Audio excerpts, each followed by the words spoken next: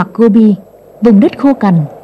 Sa mạc Gobi hay gọi theo tiếng địa phương Samo là một vùng đất hoang chỉ có cát và gió, nằm ở vùng trung của Trung Quốc.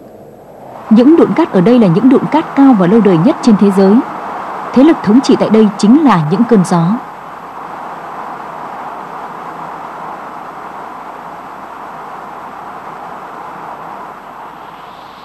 Các thành viên của một nhóm thám hiểm người Đức đang dự định thực hiện một hành trình đi xuyên sa mạc nằm xa nhất về phía Bắc và cũng là sa mạc lạnh nhất thế giới này. Trên đường đi, họ sẽ ghé thăm thành phố cổ đồ nát đã được Marco Polo tìm thấy và đặt tên là Escina vào thế kỷ thứ 13. Trong thời cổ và trung đại, thành phố ốc đảo này là một trung tâm thương mại phát triển khá rực rỡ trên con đường tơ lụa nối liền Trung Quốc và vùng địa Trung Hải. Sự thành công của bất kỳ hành trình nào phụ thuộc vào sức khỏe cũng như sự quyết tâm của các thành viên trong đoàn. Do đó, 5 thành viên người Đức và 4 người dẫn đường Trung Quốc đang tích cực chuẩn bị thực phẩm tại khu chợ Hô Hót. Đây là trung tâm của khu tự trị nội mông của Trung Quốc. Hô Hót cũng chính là điểm khởi đầu của hành trình. Những cây kẻ hoa này rõ ràng là một thứ muôm hớ. Trong điều kiện trên sa mạc, chỉ khoảng một tuần nữa nó sẽ bị thối rữa. Tuy nhiên trong hành trình này thì mọi thứ đều cần phải được tính toán một cách kỹ lưỡng, không thể vứt bỏ bất kỳ thứ gì.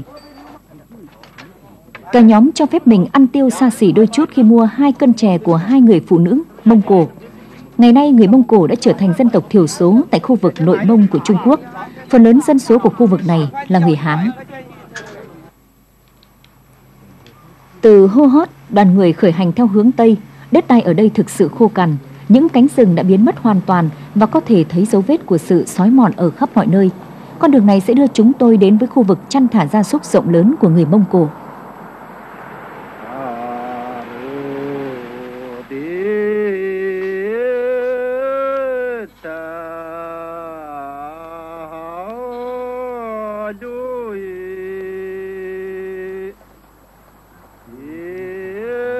Sống trong một vùng đất rộng lớn chỉ có đất và trời này hoàn toàn không có gì khó hiểu khi người Mông Cổ lại gần gũi với tự nhiên đến như vậy.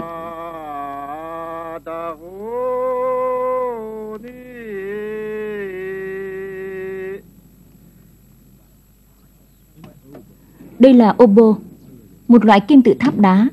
Những tín đồ đạo Phật đã đắp những ụ đá này trên đường đi, tại các ngã tư, trên đỉnh núi và bên các dòng suối.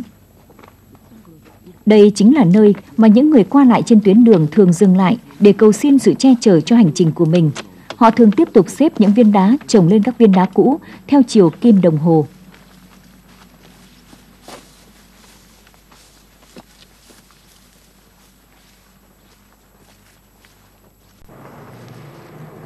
Tiếp tục hành trình thêm vài cây số nữa, chúng ta đã thực sự ở trên sa mạc. Tại đây, đoàn phải dừng lại ít phút để có thể tiếp cận với khu vực cấm của quân đội. Những người lính gác tỏ ra khá thân thiện. Chính quyền địa phương đã cho phép đoàn thám hiểm có thể tiếp cận tuyến đường phía trước. Do đó cả đoàn có thể tiếp tục hành trình. Người vui nhất chính là ông trưởng đoàn Bruno Baumann.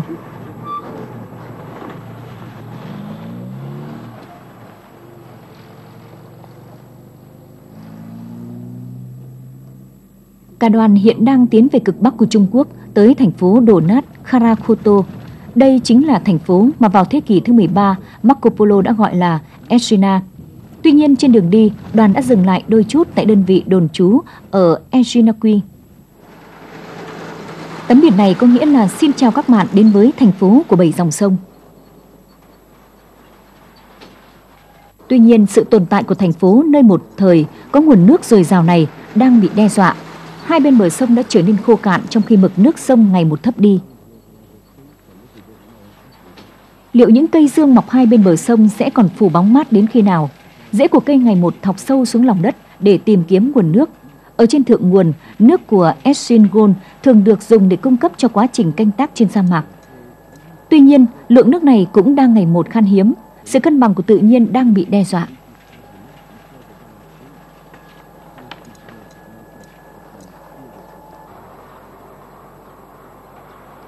Những chiếc xe chở nước đang đi trên cầu cung cấp nước uống cho người dân.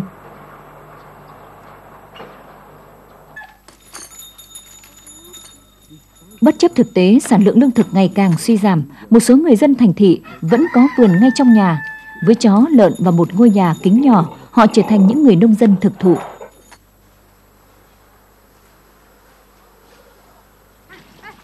Nước dùng cho người và gia súc được bơm bằng tay ở độ sâu 9 mét. Đất đai ở đây đã bị khai thác quá mức và bị xói mòn nghiêm trọng, và đất đai đang dần bị cát của sa mạc kế bên xâm lấn.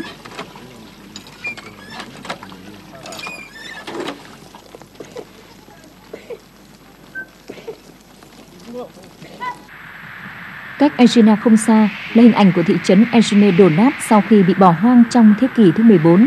Người Mông Cổ đã gọi nơi đây là Karakoto có nghĩa là thành phố đen.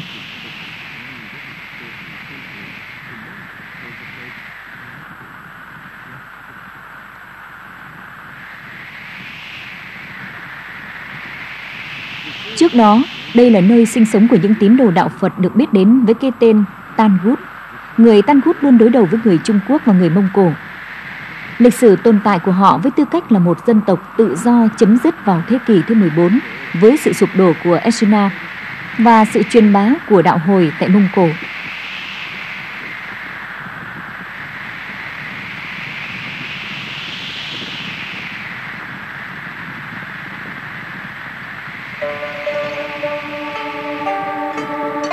Cuối cùng, hình dáng của thành phố cổ cũng đã xuất hiện ở cuối đường chân trời, không phải với màu đen mà là một ảo ảnh trắng tuyết. Cát sa mạc đã bao trùm tất cả các bức tường thành và ngay cả những tòa nhà cao nhất ở đây cũng bị cát vùi lấp. Nhưng khi đứng từ khu trung tâm nhìn ra phía công sự, bạn sẽ hình dung được độ lớn của thị trấn này. Không có một nhà nghiên cứu nào dành nhiều công sức nghiên cứu Karakoto hơn ông Pio Koslov Năm 1906, Kozlov đã thực hiện chuyến thám hiểm tới vùng Trung Á này và phát hiện ra thị trấn đổ nát. Trong suốt quá trình khai quật kéo dài nhiều năm, ông đã tìm được khá nhiều hiện vật, tranh vẽ, tượng và sách. Những hiện vật này sau đó được chuyển về Saint Petersburg tại Nga. Những tác phẩm nghệ thuật này cho thấy các nghệ sĩ tại Estrina đã sử dụng các yếu tố tạo hình của Trung Quốc và Tây Tạng.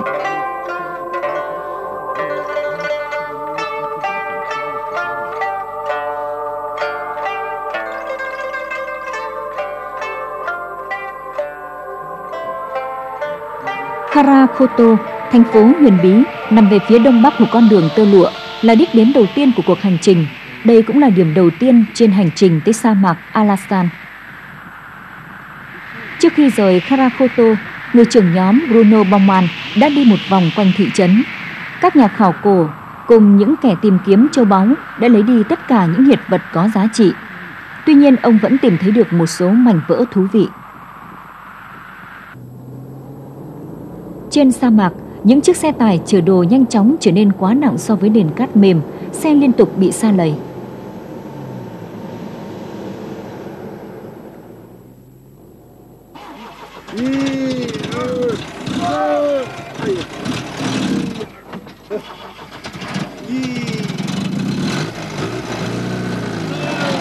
Trong phần còn lại của hành trình, xe tải sẽ bị thay thế bằng lạc đà Lúc này khả năng chịu đựng của các thành viên trong đoàn sẽ là một yếu tố quan trọng vì họ sẽ phải đi bộ khoảng 500 cây số nữa trên sa mạc.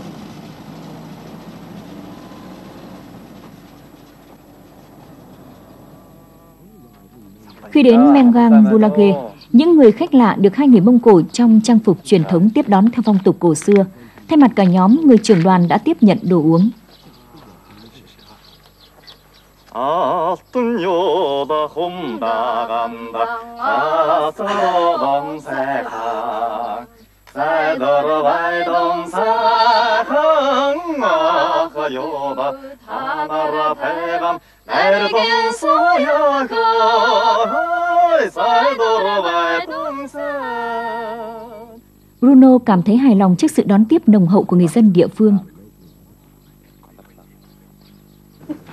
Buổi sáng hôm nay, sự khởi hành của đoàn đã trở thành một sự kiện trong đời sống xã hội của người dân địa phương. Lần đầu tiên đoàn thám hiểm được hình thành một cách hoàn chỉnh. Đoàn gồm 5 người châu Á, 4 người dẫn đường Trung Quốc cộng với 5 người Mông Cổ, dắt lạc đà. Trong 3 tuần tới, họ sẽ đi xuyên sa mạc này.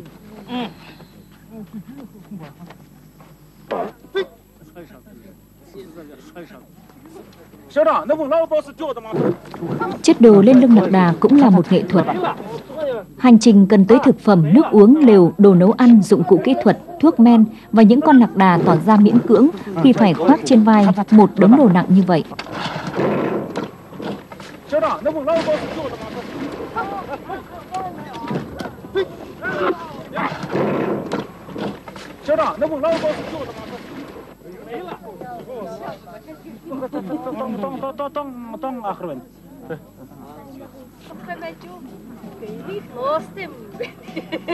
Những người dân địa phương cho rằng Bruno và nhóm của ông là những người điên. Họ không thể hiểu tại sao lại có những người muốn tình nguyện đi xuyên sa mạc khắc nghiệt, đồng thời lại chi rất nhiều tiền cho chuyến đi này.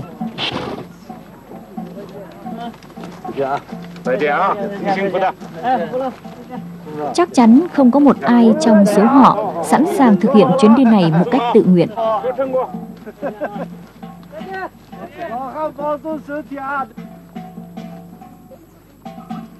Khởi hành vào nơi vẫn còn mơ hồ. Bất chấp sự chuẩn bị kỹ lưỡng, các thành viên của đoàn thám hiểm không thể biết chắc được điều gì sẽ xảy ra. Nhưng có một điều chắc chắn là họ sẽ phải thực hiện chuyến đi này trên những đôi chân của mình. Họ dần quen với việc bước đều cũng như quen với tính nết của những con vật.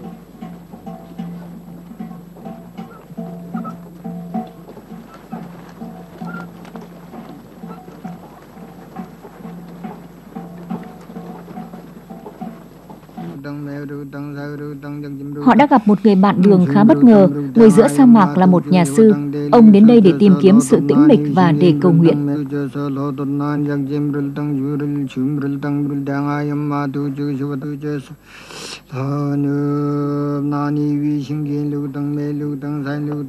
Tại sa mạc, ông có những món quà vô giá là thức ăn và sữa.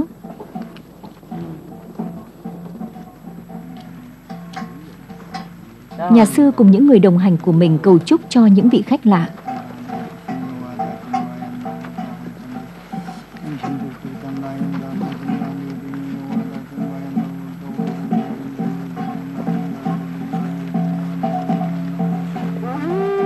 Vị sư trẻ thổi chiếc vò sò trắng, âm thanh của nó có thể vang vọng rất xa.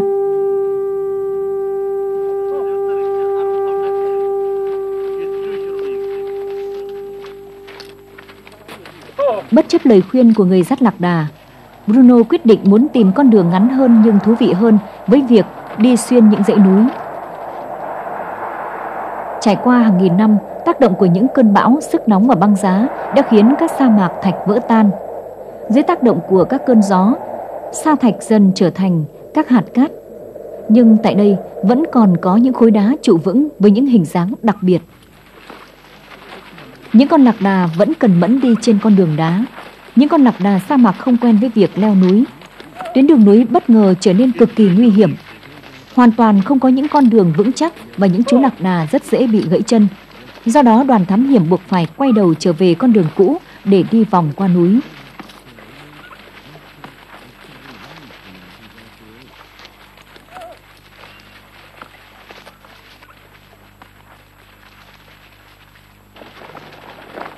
Một vài giờ sau, đoàn người đã quay trở lại vị trí cũ. Tuy mệt mỏi, nhưng họ đã tin tưởng hơn vào người dẫn đường.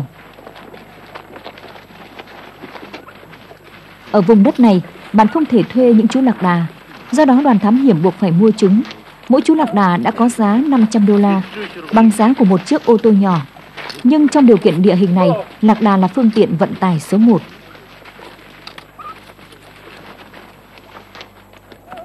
Đoàn người đã tiếp cận với sa mạc cát. Những đụn cát nhỏ là dấu hiệu đầu tiên về những đụn cát lớn nằm ở phía trước. Vào sáng sớm trước khi đoàn tiếp tục khởi hành, trời khá lạnh, nhiệt độ lúc đó thường vào khoảng âm 10 độ. Trời lạnh là một vấn đề khó khăn, nhưng đối với những người châu Âu, một tách cà phê nóng trong bữa sáng sẽ giúp họ sưởi ấm.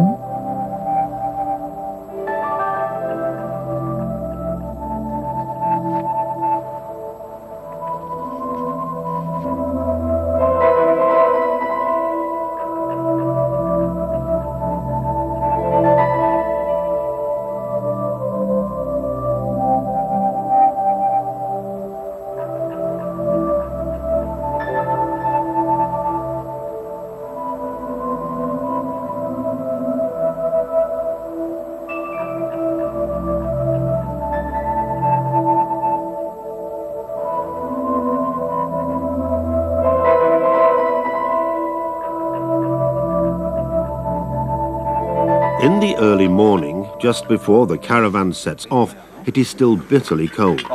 The temperature is often as low as minus 10 degrees. The cold is a real problem for the Europeans, but a cup of freshly brewed coffee for breakfast goes some way to warming them up.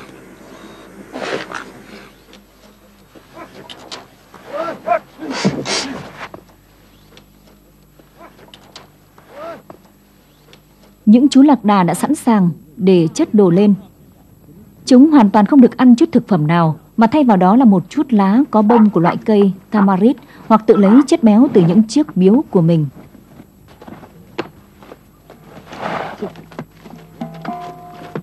Một khi đoàn người khởi hành trong buổi sáng, họ sẽ không dừng lại trong suốt cả một ngày đường. Tốc độ của lạc đà là 6 cây số một giờ, không ai được phép tụt lại đằng sau những chú lạc đà.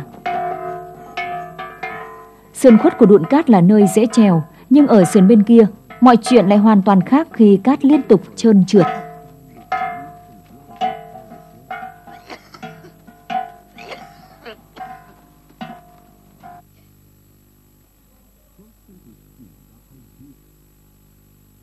Sử dụng ván trượt trên loại địa hình này rất thích hợp, không chỉ giúp bạn có thể đi nhanh hơn mà trượt cát cũng thú vị hơn đi bộ. Hai tay trượt phải kiểm tra sự an toàn cũng như tiếp tục thám hiểm tuyến đường. Họ thường xuyên phải trèo lên các đụn cát nhiều lần để tìm xem đâu là đường dễ đi và an toàn nhất.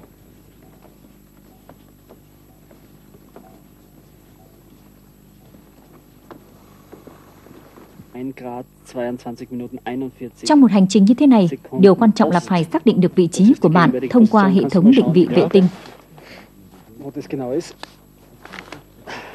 wir waren heute, da? Ja, sind wir da. Naja, da sind wir ja ein paar Kilometer vorankommen, ne? Ja. Vượt sa mạc trên các ván trượt, đó là một hình ảnh khá ấn tượng. Tuy nhiên với việc hai người trượt cát có thể đi lên trước và kiểm tra độ chắc chắn của nền cát, điều này đã giúp ích rất nhiều cho cả đoàn. 18 bốn Skiers clearly enjoy their work.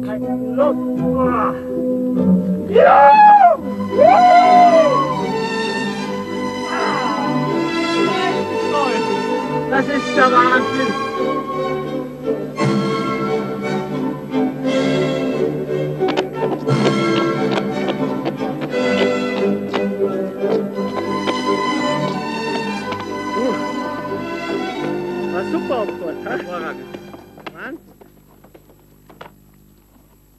Tìm kiếm nước cho những chú lạc đà ngày càng trở thành một vấn đề phức tạp. Trong điều kiện phải thổ nặng và trên địa hình như thế này, lạc đà không thể tiếp tục di chuyển nếu một tuần không được uống nước. Các thiết bị hiện đại nhất đã được sử dụng để tìm nguồn nước. Tuy nhiên họ hoàn toàn không thể tìm thấy dấu vết của bất cứ một cái hồ chứa nào cho dù đó là nước mặn.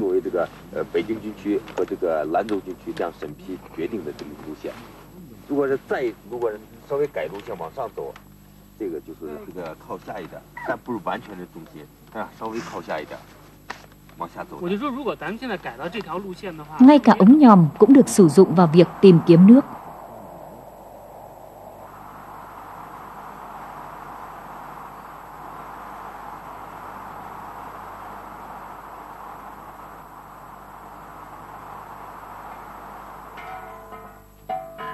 Hoàn toàn không có dấu hiệu nào của nước. Tình hình trở nên phức tạp. Liệu hành trình có bị cắt ngắn đi hay không? Giờ đây, đoàn thám hiểm đã hiểu được phần nào sự khắc nghiệt của sa mạc và lý do tại sao người dân địa phương không muốn tham gia vào chuyến đi này.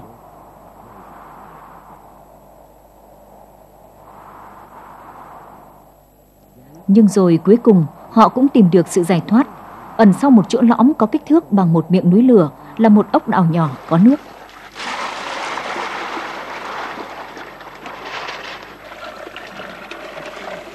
Những chú lạc đà đang khát có thể uống tới 120 lít nước trong một giờ. Nước được phân bổ trên khắp cơ thể chúng thông qua các mô. Trước đây người ta cho rằng lạc đà chứa nước trong các biếu, nhưng điều này hoàn toàn sai lầm.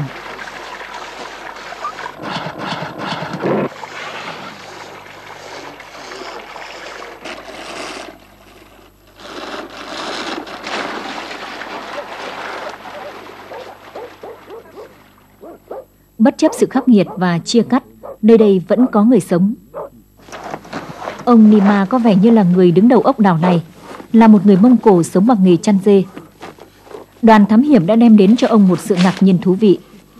Để chào đón các vị khách, ông đã mổ một con dê.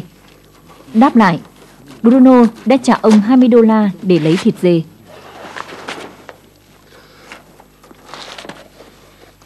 Mặc dù có khá nhiều nước, nhưng tình hình trồng trọt của ông Nima khá tồi tệ.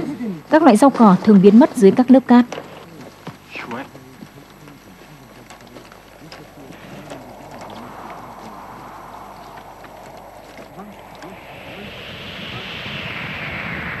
Và ngày hôm sau, đoàn thám hiểm đã phải hứng chịu một cơn bão cát của sa mạc Gobi. Trời tối dần và cát quất vào bất kỳ vùng nào trên cơ thể không được che kín.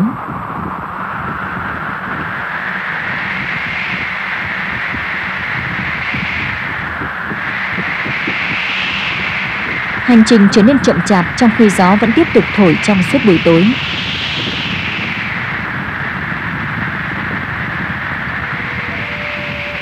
Đến khi đoàn đến được nơi cắm trại thì mặt trăng đã lên khá cao.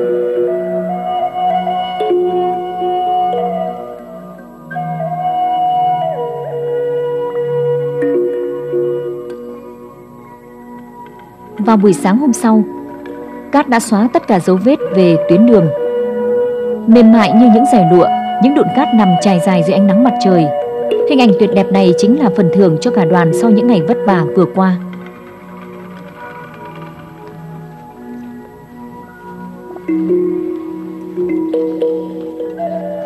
Cả đoàn đã tận hưởng sự tĩnh lặng sau cơn bão. Đoàn tiếp tục lên đường trong sự yên lặng gần như tuyệt đối.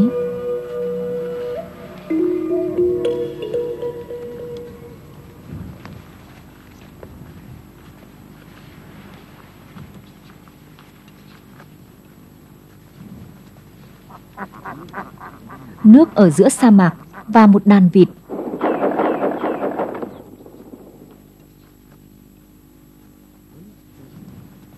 Một cách tình cờ, đoàn thám hiểm đã đi ngang qua một hồ nước mặn không hề được đánh dấu trên bản đồ.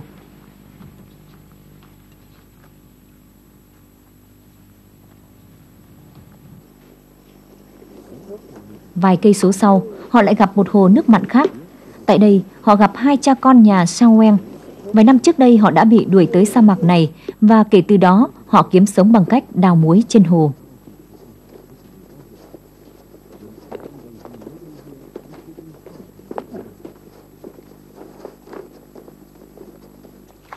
Ông Soen sống tại đây cùng cậu con trai Yêu Ninh và vợ của anh ta. Con của Yêu Ninh hiện đang học tại trường nội trú ở thị trấn cách đó khá xa. Phải mất 4 ngày đường, họ mới tới được trạm y tế và trạm điện thoại gần nhất.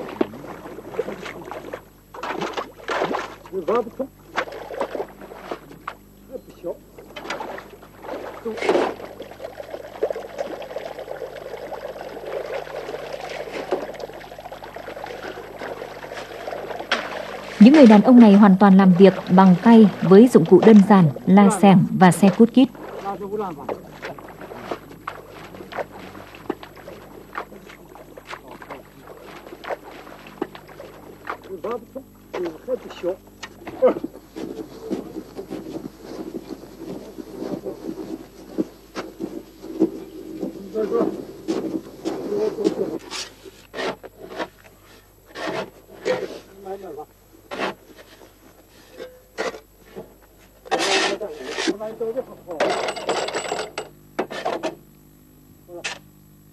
Mỗi năm một lần, một đoàn lữ hành lớn sẽ đi qua đây để thu mua muối.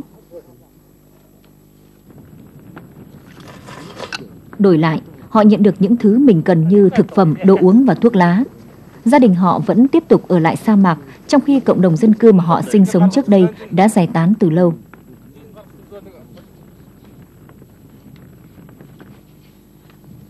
Cả đoàn lại tiếp tục hành trình. Vào ban ngày nhiệt độ là 36 độ. Trong điều kiện thời tiết này, mỗi ngày họ có thể đi được từ 8 đến 28 cây số.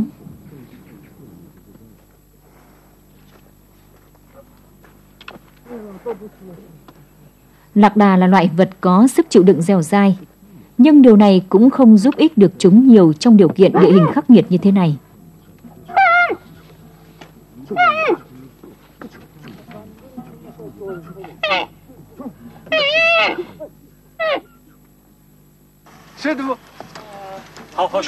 Đoàn người đến được khu cắm trại trước khi mặt trời lặn. Trên thực tế, tất cả mọi hoạt động như sữa đồ từ lưng lạc đà, dựng lều, đốt lửa đã trở thành một chuỗi hành động. Wir bauen es hier praktisch auf.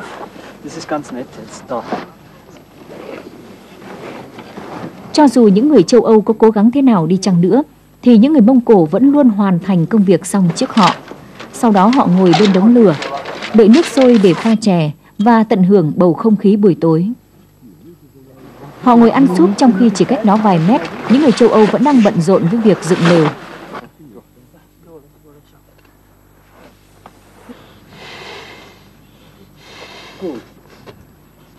Tất cả mọi người đều phải tham gia vào việc nấu nướng. Mỗi tối có ba đống lửa được đốt lên.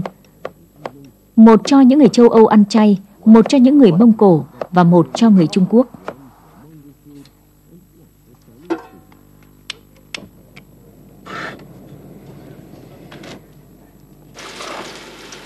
Hành trình đã gần kết thúc. Một thành viên trong đoàn đã sắp hoàn thành bài viết của mình về chuyến đi này.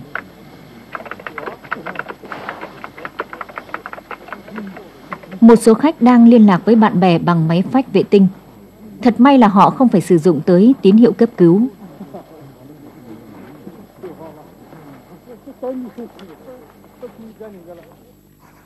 Puel là một trong những người dẫn đường Trung Quốc.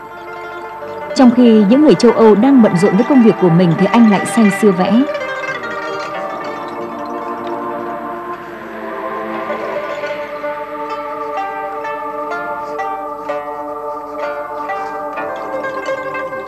Hành trình đi trên sa mạc Gobi đã để lại cho tất cả các thành viên trong đoàn nhiều ấn tượng đặc biệt.